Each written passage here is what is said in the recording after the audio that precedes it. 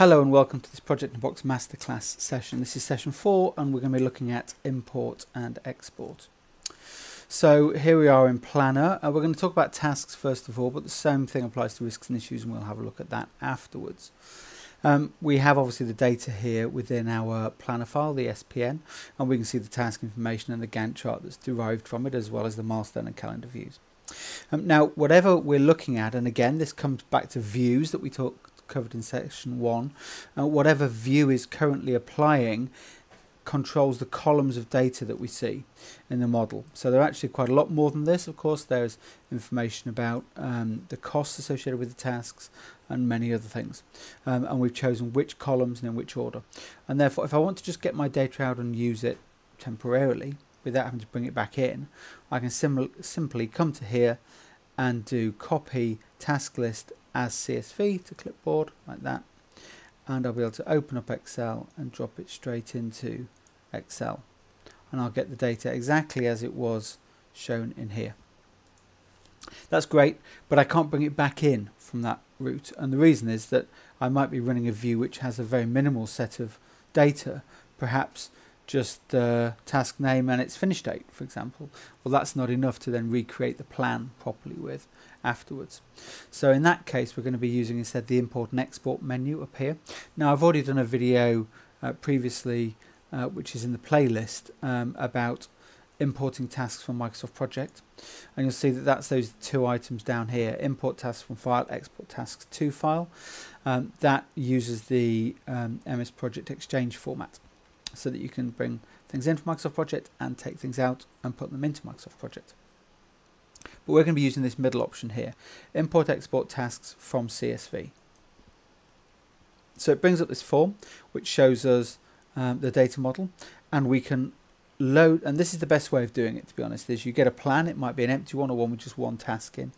You load from current plan like that so you can see the full data model. As I say, it's quite a bit more extensive than you might generally see on your view. Um, uh, with obviously the core things, but also some other things like the outline levels, and date created, and all sorts of other things, colors of bars if you're going to use colors, etc. Um, and you can see that data here. Now you can then copy this, and again, of course, just then paste it into Outlook. So we'll just go paste like this, and now we get that much more complete set of data um, showing here with all the costs, etc.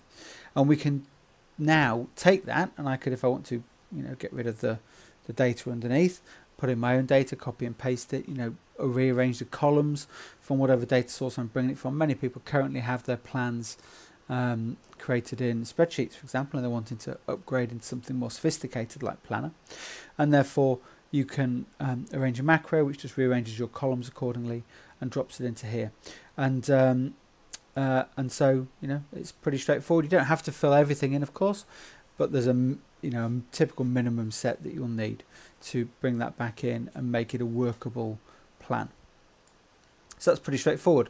We can then do exactly the same thing in reverse. Copy the spreadsheet, come to here and paste, and that'll paste that data back onto the form, and then we can import it either as an append or replace. So append will add it to the end of any existing task that you already have in your planner file and replace will replace it as a new set of tasks.